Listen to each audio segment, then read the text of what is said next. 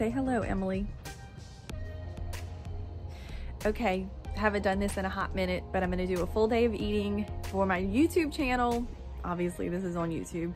I'm not gonna edit it. I'm just gonna roll with it.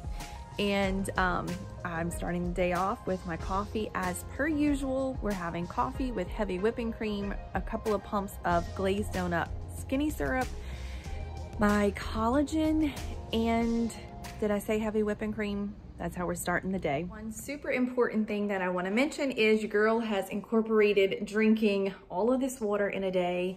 I got this um, jug on Amazon. I'll link it below. It has helped me tremendously in making sure I get enough water. I wanna say this is 60 something ounces, but I make sure I drink one of these a day. Makes you feel better, clearer skin, all those things matter. And we're staying hydrated. I'm having my first meal of the day and it's one o'clock exactly on the dot. And what am I having? This might sound silly, but it's not silly to me. I'm having Magic Spoon cereal. I'm mixing the frosted and the fruity it has that Captain Crunch Berry vibe to it. I serve it over unsweetened almond milk. It is delicious, y'all. It's so good. There's zero grams of sugar in it, 13 grams of protein, and only four net carbs per serving. And that's what your girl is having. If you haven't tried Magic Spoon, you really need to. It's so clean. It's sweetened with allulose, which is a keto-friendly sweetener. It doesn't impact your glucose levels. And I mean, let's face it, you're having cereal that has protein in it. Hello. But anyway, um, it's delicious. I love the peanut butter. I love the cocoa. I love the fruity, the frosted. Their cookies and cream is bomb. So this is my lunch.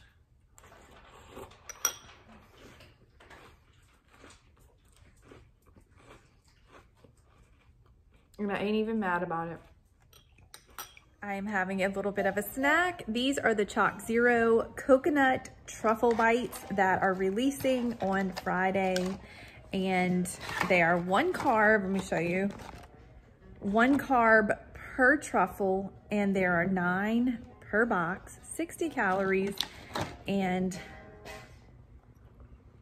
they are delicious if you love milk chocolate and coconut which I do. Tonight for dinner, I am cooking along with my meal plan members, which are Dat Keto family. We're having buttery Italian shrimp. So delicious, so easy to make. It's a one skillet meal. It is bomb.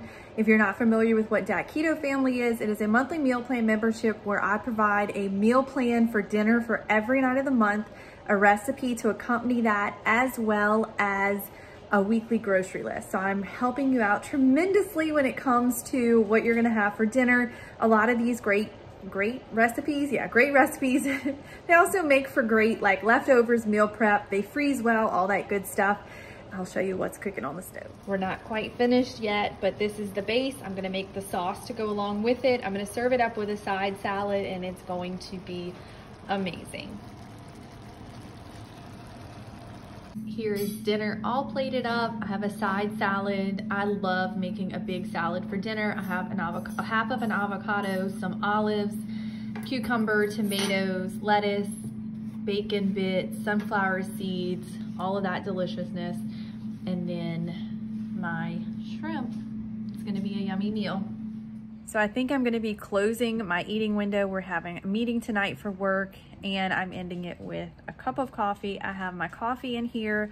I don't have collagen, although I would normally do that twice a day. I just have some steamed half and half and some sugar-free syrup. That's it. That's what your girl had for a full day of eating.